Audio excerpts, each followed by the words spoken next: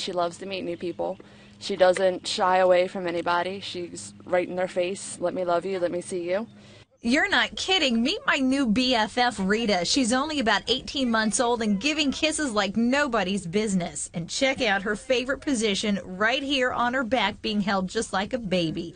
A lovable, trusting pup, which is really pretty remarkable considering everything she's been through. She was found in the woods in Columbia, Maryland by a BGE meter reader. He saw something moving, he went to investigate, and he found Rita laying on the ground. Rita had been dumped in April in horrific shape after being attacked in a dogfight. BMO Combs is on the board of the Baltimore Bully Crew. It's a nonprofit that helps rehab abused animals like Rita.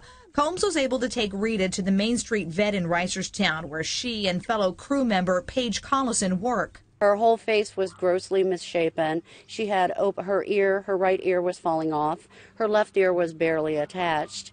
Um, she had 105 temperature. We thought if she survived the night, she, she had a good chance because we thought she had already gone septic.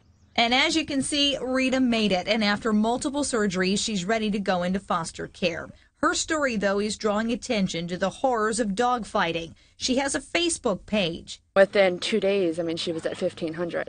And now has over 3,000 followers from all over the world. Germany, Portugal, Australia, Italy. Combs says dogfighting and abuse is widespread and heartbreaking. They use uh, puppies for bait. They use uh, dogs they pick up off the street. Um, they they use their own dogs. If they're not a good fighter, then they become a, a bait dog.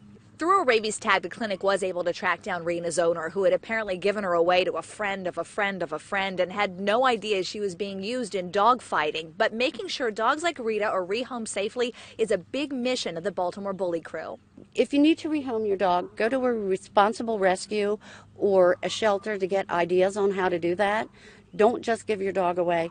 Don't you you need to keep following up and make sure that this dog is going to a good home. She's a good example of their resilience and will to move on and survive.